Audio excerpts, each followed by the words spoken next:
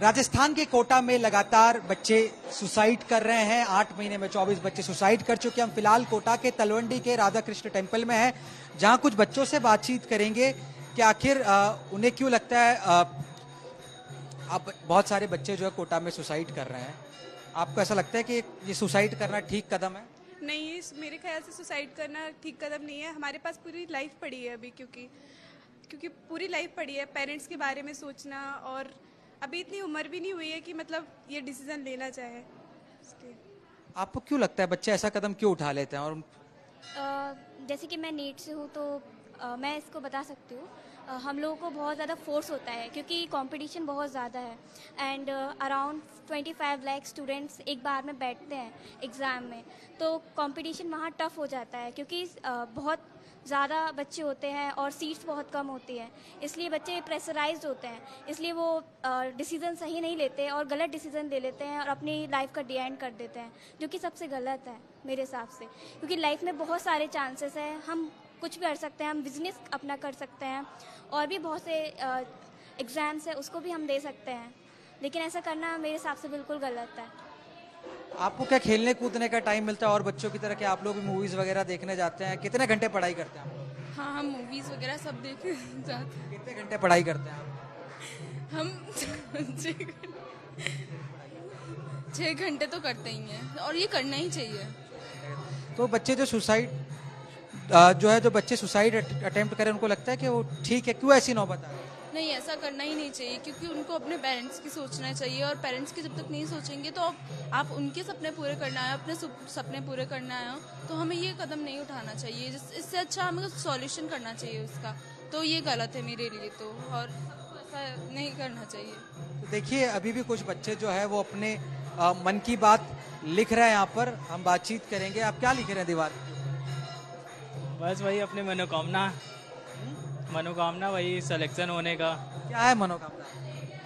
Government college में selection लेना है। कहाँ से आप? चौबीस छत्तीसगढ़। क्या नाम है दिव्यांश अग्रवाल। दिव्यांश प्रेशर बहुत ज़्यादा है क्या? कोटा बच्चे बहुत सुसाइड कर रहे हैं। हाँ मतलब लाइटली है। जैसे कई लोग घर वाले के प्रेशर से और प्रेशर मिलता है ना इधर उधर से कोचिंग वगैरह से ज़्यादा स्ट्रेस ले लेते हैं पढ़ने का। तो उसके वजह से भी सुसाइड कर लेते हैं। आप अभी क्या लिख रहे हैं? ये मुझे क्या पढ़ के बताएँगे? खुद पढ़ के बता भगवान से जो कह रहे हो सबसे ऊपर वाला सुन ले आप। नहीं मैं बोल रहा हूँ मुझे अच्छे से विद्या ये पढ़ाई लिखाई मन लगे थोड़ा। मतलब अच्छा गवर्नमेंट कॉलेज मिल जाए। हाँ। अगर मानिए खुदा ना खास्ता अगर नहीं मिलता है तो क्या हो जाता है? क्या उससे मतलब मतलब मिलता है कुछ और कर लेंगे। उसमें ज़रूरी नहीं है कि सिर्फ़ यही करना है। लाइफ तो बहुत चौबीस बच्चे सुसाइड कर चुके हैं। इस आठ महीने में क्यों कर रहे हैं सुसाइड क्या पता प्रेशर आने की वजह से कर रहे हैं ज़्यादा प्रेशर ले लेते हैं पढ़ाई का। कितने घंटे पढ़ाई? Minimum six to seven hours ज़्यादा नहीं। आपके अपने दोस्तों से बातचीत होती है जो सुसाइड अटेम्प्ट किए हो या कोशिश नहीं वैसा कोई नहीं है मेरे ग्रुप में। नहीं। आपको लग रहा है ठीक है जो सुसाइड वगैरह? नहीं नहीं वो गलत है। सिर्फ़ इसी में लाइफ थोड़ी ना है। लाइफ तो बहुत लंबी है। और पीछे भी तो घर वाले भी तो हैं ऐसा थोड़ी ना है कि सिर्फ़ यही है। आप यहाँ जो दीवार पे लिख रहे हैं मुझे अच्छे से विद्या उधर दीजिए भगवान और- मेरे पढ़ाई लिखाई में मन लगे और सिलेक्शन हो जाए 2024 में मुझे अच्छा मेडिकल गवर्नमेंट कॉलेज मिल जाए। ये बात अपने आप पिताजी से कहते हैं कई बार डिस्कस करते हैं कि पापा आप थोड़ा डिफ़िकल्ट है आप उम्मीद रख सकते हैं लेकिन ना हो तो माफ़ कर दिए। कुछ इस तरह की हाँ घर वाले बोलते हैं कोई दिक्कत नहीं है कुछ भी ले लेंगे। प्रेशर बस नहीं लेना है टेंशन नहीं लेना है अच्छे से पढ़ना है बस।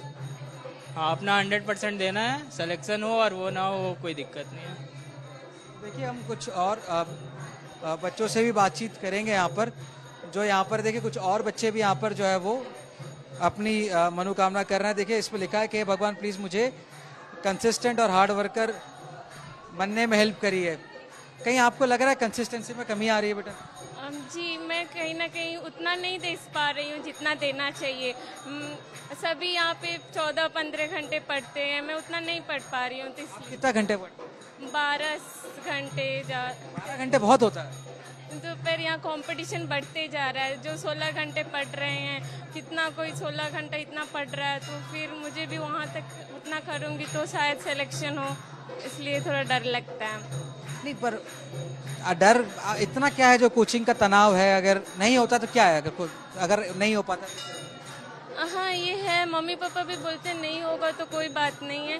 पर उतना रुपया लगा रहे हैं उतना ये सब। तो कोटा में रहना भी आसान नहीं है। बहुत ज़्यादा रुपया लगता है। तो फिर यहाँ है तो अब थोड़ा कोशिश करें कि हो जाए।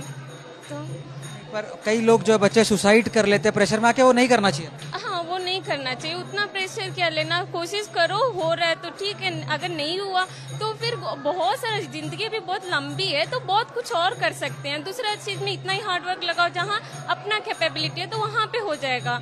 तो इस साल मैं ट्राई करूँगी अपना पूरा हंड्रेड परसेंट दूँगी नहीं हुआ तो मैं किसी और फ़ील्ड में चली जाऊँगी। उम्मीद हमेशा रखनी चाहिए। जी हाँ उम्मीद हमेशा रखनी चाहिए। कहाँ से आप? तमिलनाडु।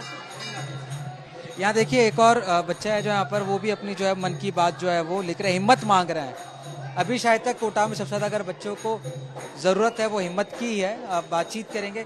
क्या है बेटा एनी बसिन। आप कहाँ से हैं? बिहार से। बिहार से। क्यों आपको आप हिम्मत की कहाँ कमी आ रही है? आपको क्यों हिम्मत की ज़रूरत है ही? सबको हिम्मत दे, क्योंकि सुसाइड करना, समझ रहे आपकी ज़िंदगी सिर्फ़ आपसे नहीं जुड़ी होती है। आपकी फैमिली से जुड़ी होती है। आप मर जाओगे, ठीक है, नीट नहीं हुआ नहीं हुआ। हम दस हज़ार की भी सैलरी कमाएँगे तो अपने माँ बाप को बस खुश रखेंगे, उसी चीज़ में।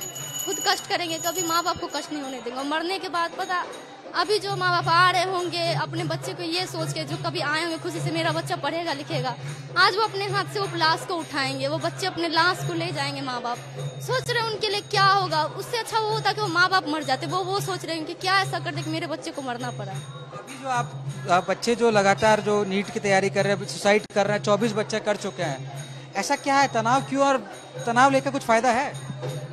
देखिए, जो बच्चे बाहर से आते हैं, वो कोटा जंक्शन पे आने के बाद ही उनको पता चलता है प्रेशर क्या होता है। वो आप कोटा में रह के, हॉस्टल में रह के आपको पता चलता है कि प्रेशर आखिर में होता क्या है। आप बाहर रहते हो, आप फैमिली और कुछ भी हो, आपको पता नहीं चलेगा जब तक आप कोटा में, हॉस्टल में आके नहीं रह रहे हो, आपको पता नहीं चलेगा कि सीरियसली प्रेशर होता क्या है। यहाँ आओगे तो पता चलेगा। पढ़ाई का कंपटीशन देख के, यहाँ सिर्फ़, यहाँ पता है सिर्फ़ कुछ भी नहीं, यहाँ सिर्फ़ पढ़ाई का माहौल है।